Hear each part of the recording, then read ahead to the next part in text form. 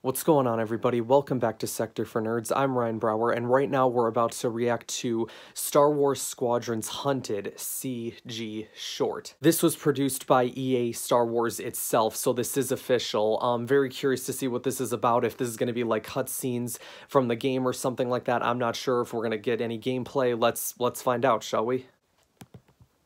All right, here we go.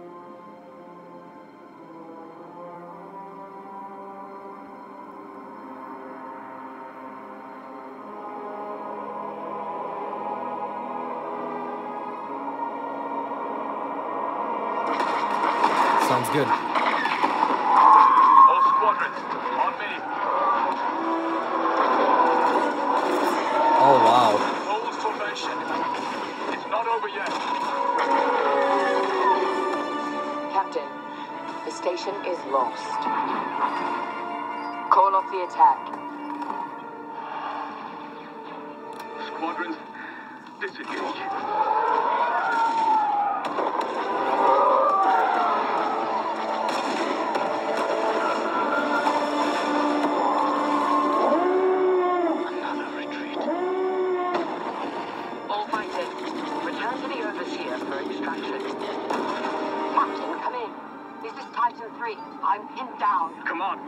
Have ties out. We're not handing the enemy one more destroyer, Captain.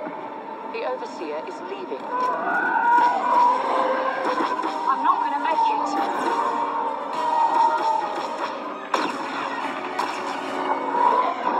Thanks, Greg. I thought I was done Get to the hangar, pilot.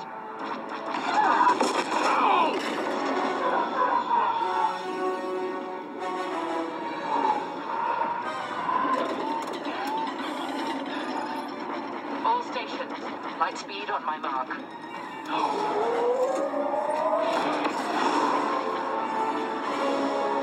He diverted all his power to, to his speed. It's going to be one of the features in the game.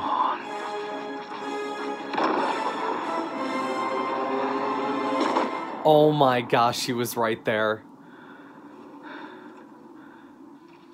Damn.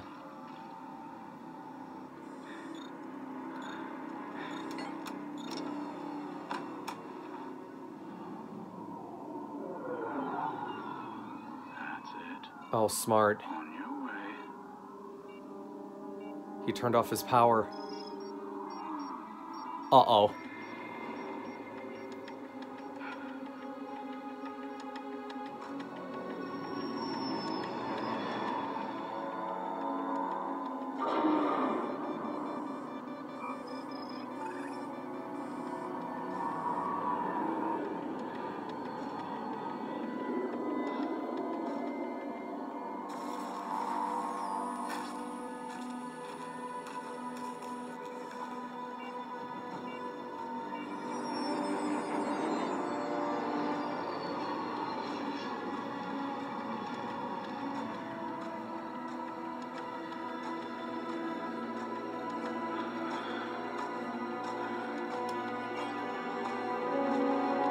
oh. Oh, oh. He missed.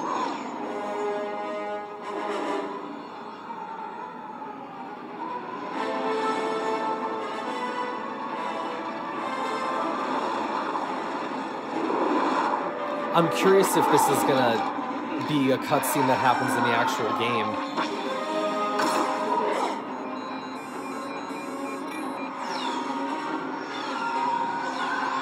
Jettison the spare part canisters.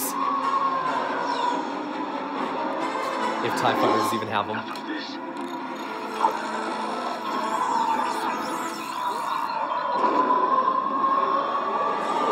Oh, did he disable the missile or something?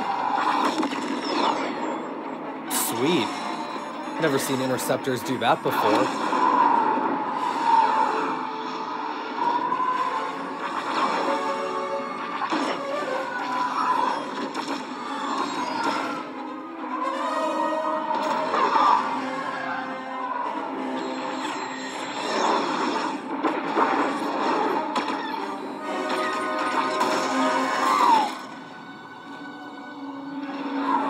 I've lost R2. Whoa, that's a nice looking planet.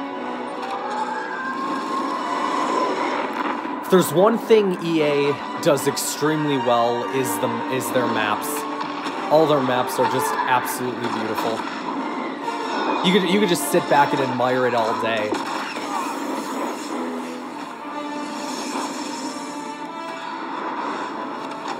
Alright, so I'm, I'm feeling like this is one of the main characters you're playing as in the game. This is the Imperial pilot. And maybe this X-Wing is the Rebel pilot that you play as.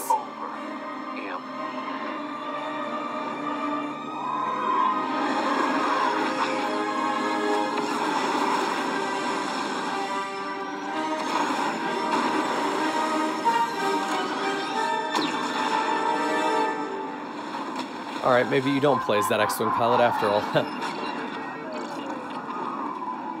well, you know what though, if they're both crashing, maybe. I don't know.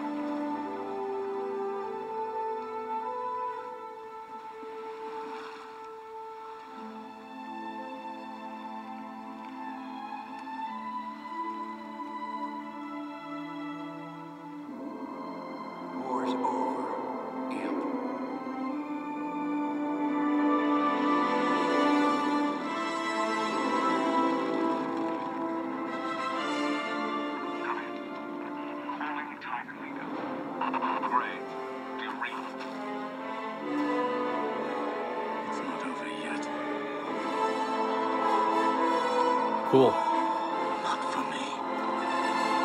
Nice.